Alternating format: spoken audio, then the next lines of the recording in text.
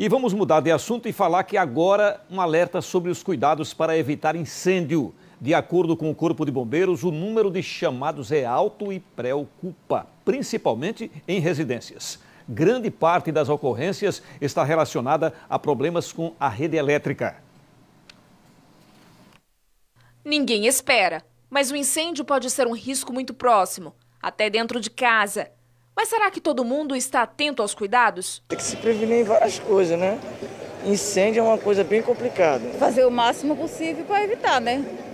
Porque principalmente na casa que tem criança, né? Só de janeiro a agosto deste ano, o Corpo de Bombeiros atendeu 130 ocorrências envolvendo incêndios.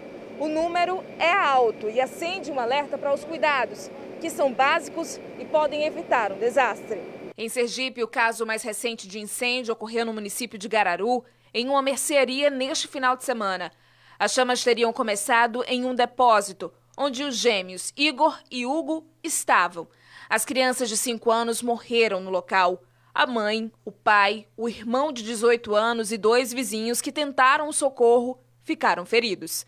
Em junho deste ano, as vítimas foram Josuíta Alves, de 80 anos, e o filho, Roneide Alves de Oliveira, de 50 anos.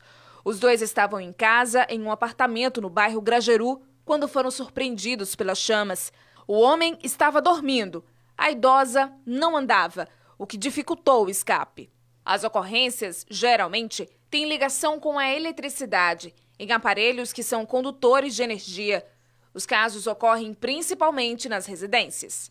A gente deixa o alerta pra, para parte elétrica, né, no caso de tanto residências quanto comerciais.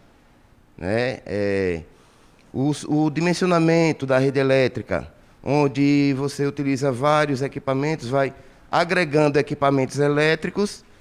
No entanto, você não procura um profissional da área para fazer o dimensionamento da rede elétrica. Então, superaquece e onde acontecem os acidentes, principalmente em ar-condicionados. Segundo o major do Corpo de Bombeiros, em casos simples ou de maiores complexidades, o Corpo de Bombeiros deve ser acionado com urgência. O socorro nas primeiras horas do incêndio pode salvar vidas. Em caso de acidente, caso de incêndio, 193 é a forma mais rápida, até mesmo antes do primeiro combate, né? é necessário que dê esse esse esse brief primeiro. Por quê?